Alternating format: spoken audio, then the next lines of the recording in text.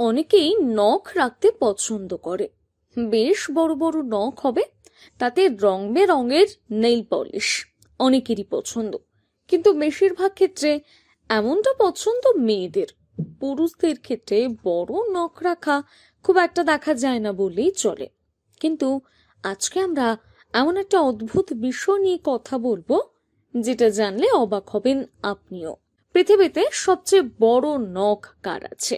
চলুন জেনে নিই বিশ্বের সব থেকে বড় নখের মালিক ভারতের পুনের বাসিন্দা শ্রীধর চিল্লাল। এই বড় নখের জন্যই এবার তিনি সম্পত্তির করের হাত থেকে মুক্তি পেতে চলেছেন। হ্যাঁ তিনি তার সম্পত্তির করের হাত থেকে মুক্তি পেয়েছেন শুধুমাত্র তার বড় নখের জন্য। ভারতের স্বাধীনতা সংগ্রামী, যুদ্ধে শহীদ হওয়া সেনাদের স্ত্রী এবং গ্যালান্ট্রি পুরস্কার প্রাপ্তদের ক্ষেত্রে সম্পত্তি করে ছাড় দেওয়ায় আইন রয়েছে। শ্রীধর চিল্লাল বলেন, আমার বয়স এখন আশি। এই বয়সে এত বড় নখ সামলানো আমার পক্ষে খুবই কষ্টদায়ক। তাই ভাবছি কোনো মিউজিয়ামে এটা দান করব। আমি পুনে কর্পোরেশনের কাছে সম্পত্তি কর মাফের অনুরোধ জানাচ্ছি। এখন তাদের হাতে সিদ্ধান্ত। এবং তারপর রীতিমতন গত চৌষট্টি বছর ধরে শ্রীধর চিল্লাল বা হাতে নখ কাটেনি।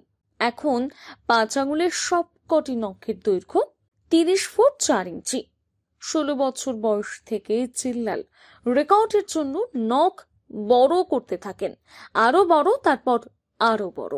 দু হাজার চোদ্দ সালে গিনেস ওয়ার্ল্ড রেকর্ডের প্রতিনিধিরা পুনেতে এসে তার সঙ্গে দেখা করেন।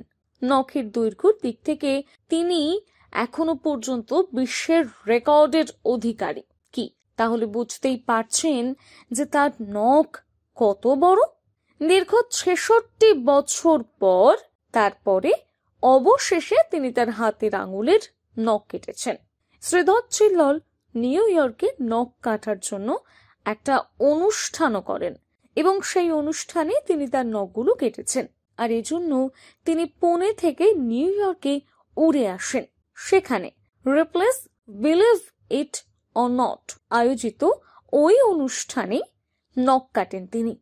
এবং রীতিমতন তার ইচ্ছে মতন তার নখগুলো মিউজিয়ামেই রাখা হয়েছে। হ্যাঁ তার নখগুলো সংরক্ষণ করা হবে বলেই দাবি করা হয়েছে সেই সংস্থাটির পক্ষ থেকে।